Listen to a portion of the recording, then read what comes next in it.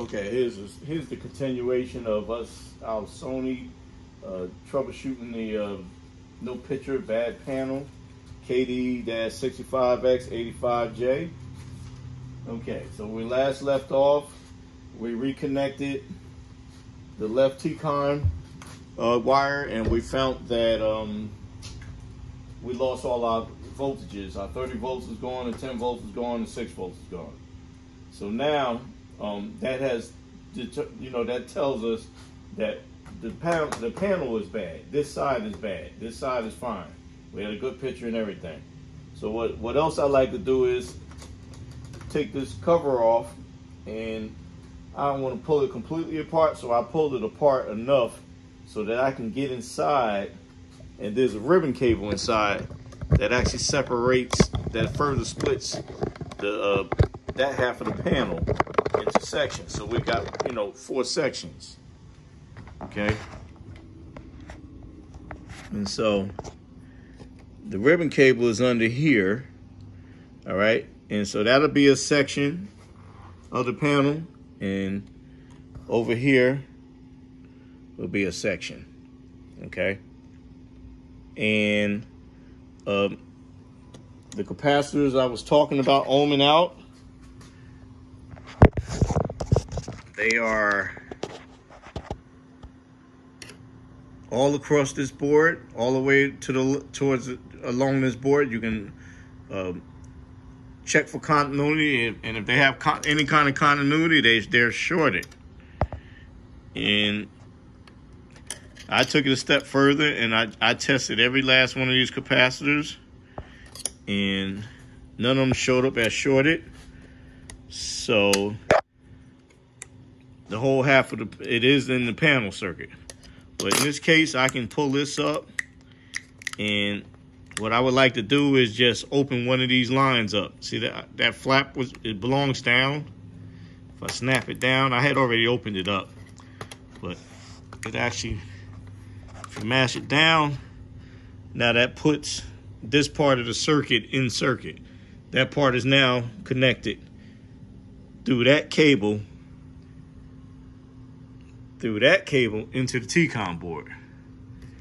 So what I would like to do is just disconnect this connector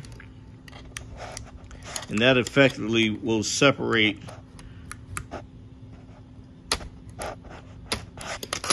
if I get in there with my fingernail or that, or that tool you know you gotta flick it up. It's being tough now. There we go so by flicking it up, it actually releases that cable. So that connection is no longer being made to there. And so what we can then do is turn the TV back on and see if, or we can actually test those voltages again and see if we get those voltages back. And that's what we'll do first, and then we'll turn, then we'll take a pic, look at the picture and see what if we have a picture. So bring this back over point it back down. Let's get back on our board. Zoom out some.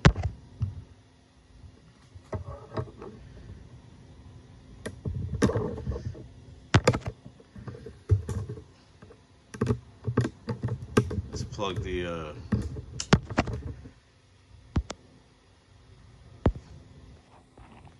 we don't want to zoom in.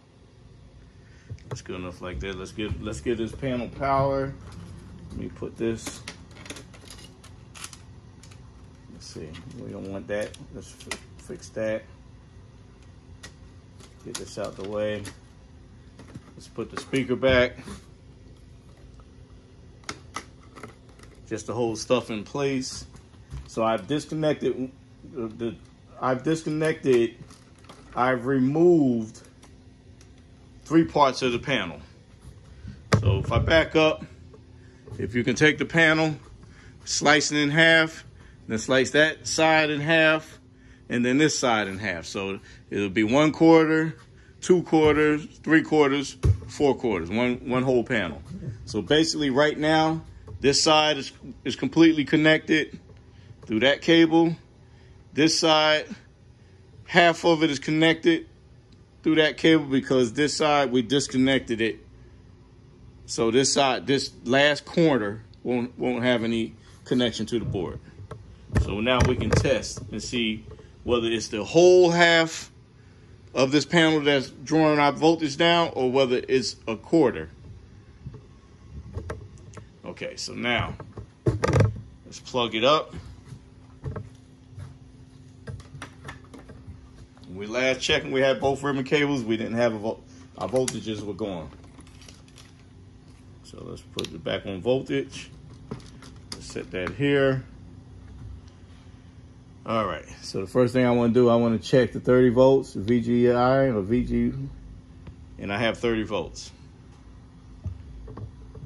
30 volts. So that's something that's something impressive. So if I go to VAA, I got 17. And that's with this cable connected. So that automatically I it's telling me I have 10 and let's see if I got 6.7. And I got 6 point, I actually got 6.9 now instead of 6.7. Only near 7 volts, 6.7. So that's telling me that we disconnected a cable up under here and we effectively got rid of this section of the screen. So that tells me that last section of the screen of the panel is bad. Not the main board, not the power supply, not the TCON board, that last section. And so what I'm gonna do now is back the camera up, stand the camera, stand the TV up, and we're gonna see what the picture look like. If if if if if my guess is right, we should have three quarter screen. All right, let's see what we have here. Let's move this out of the way.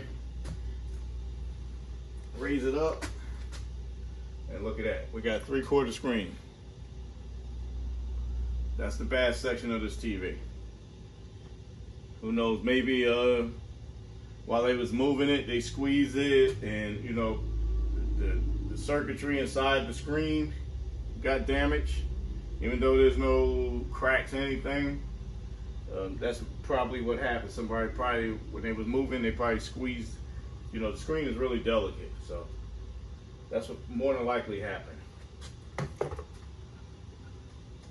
Sony Sony make good products, so I doubt if uh, they sold, sold a screen that you know sold a series that has bad panels. But only time will tell. If a lot of other people start experiencing the same problem, then these TVs have bad panels. So that concludes on how to troubleshoot a TV with no picture, but the motherboard, the main board shows signs of sound, uh, has optical light lit. Um, you can power it on and off. Uh, the, the heat sink actually gets hot. All those point to either a bad T-con or a bad panel. Panel circuit abundant that the T-con plugs to and or a bad panel. You can always check your voltages on your T-con. And if you, your voltages are missing, you can disconnect these two ribbon cables. And if the voltages come back, then you know the, the problem is that way, you know. All right, thanks for watching. Like and subscribe. Uh, get notified when I put another video up. God bless.